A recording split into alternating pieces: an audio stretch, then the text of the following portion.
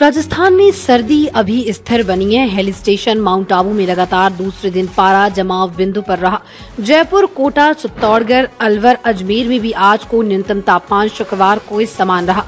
गंगानगर हनुमानगढ़ में सुबह हल्की धुंध रही जयपुर, अजमेर, भरतपुर, कोटा, जोधपुर और उदयपुर संभाग में सुबह मौसम बिल्कुल साफ़ रहा। बाड़मेर में न्यूनतम तापमान ग्यारह डिग्री सेल्सियस दर्ज हुआ, जो ज़िले में इस सीज़न का सबसे कम तापमान रहा।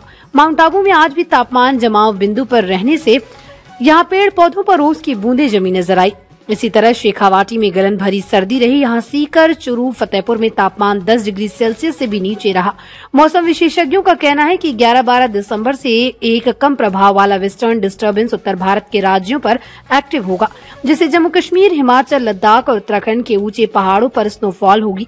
ये सिस्टम चौदह दिसंबर तक एक्टिव रहेगा और पंद्रह दिसंबर को ये आगे चला जाएगा।